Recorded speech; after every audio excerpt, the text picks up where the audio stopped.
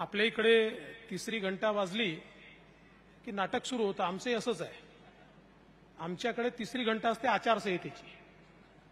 आणि ती घंटा वाजली की आम्ही आपली पोझिशन घेतो. पण एक गोष्ट आहे. चांगल्या तालमी केल्या त्यांना प्रेक्षकांचा आशीर्वाद मिळतो तसा आम्हालाही मिळतो. ज्यांनी केवळ नाटकं केली त्यांना लोक घरी बसवतात. म्हणजे महाराष्ट्राने बघितलं दोन हजार एकोणीस साली प्रयोग झाला कट्यार पाठीत घुसली. काळजात नाही पाठीत घुसली.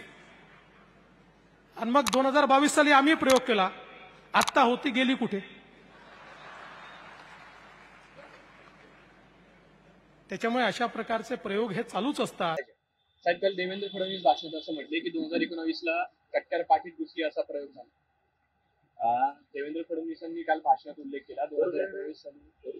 करू द्या त्यांना आता आयुष्यामध्ये दोन हजार चोवीस नंतर नाटक एकांकिका हेच करायचं आहे. दुसरं काम काय त्यांना साहेब साहेब, येत्या दोन तीन दिवसात साहेब अपात्रतेवर निकाल येण्याची शक्यता आहे. येत्या दोन तीन दिवसात अपात्रतेवर निकाल येण्याची शक्यता आहे. तो शिंदे बाजूने लागेल अशा पद्धतीचं हितोवाच खर तर गुलाबराव पाटील त्याला एक लक्षात घ्या. या देशातली न्याय व्यवस्था किती गंभीर अवस्थेला पोहोचली आहे. नारळीकर जे आहेत ते अचानक आजारी पडले. आता ते अचानक बरे झाले.